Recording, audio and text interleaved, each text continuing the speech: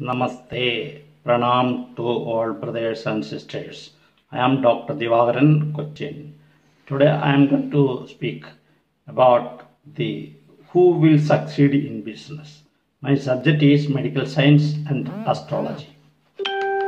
So, the all the businessman wants to become millionaire or he will become the greatest businessman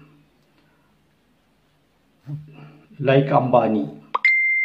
A person's entire hand should be studied carefully before predicting about business. There exist many indications on the palm to analyze the success of the business. Not the following silent points. Shape of the palm that is square. Shape of the fingers square. Size of the palm small. Mounds.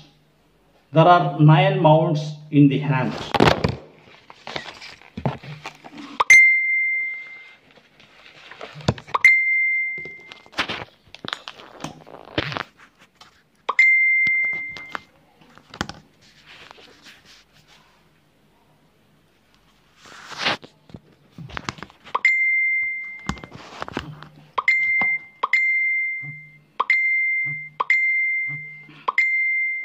There are nine mounts in the hand. The all the nine mounts should be well developed, especially the four upper mounts of Jupiter. Sun, Mercury, and Saturn. This is the mount of Sun, and this is the mount of Jupiter, uh, the Mercury, and this is the mount of Jupiter. Fate line thick and clearly marked fate line rising from rascette base of the palm or mound of moon.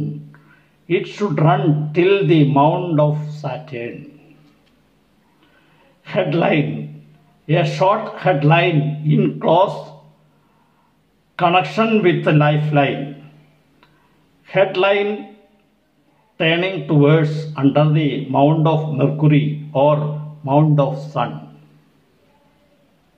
Sunline clearly marked, thick sunline with at least three well developed upper mounds.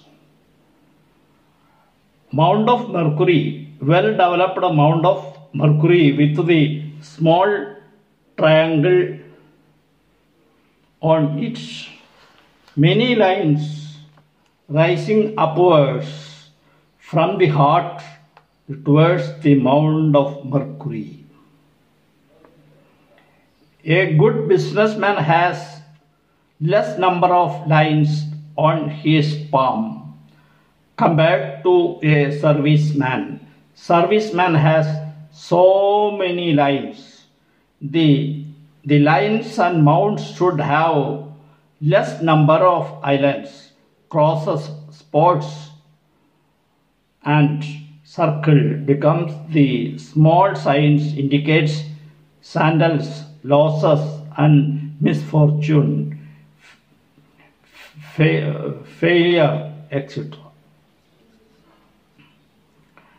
The mound of sun, a triangle or a star on the mount of sun with well developed other mounts and fate line. Mound of Rahu. It is located on the extreme right side of the palm, that is between the mound of Jupiter and lifeline. Absence of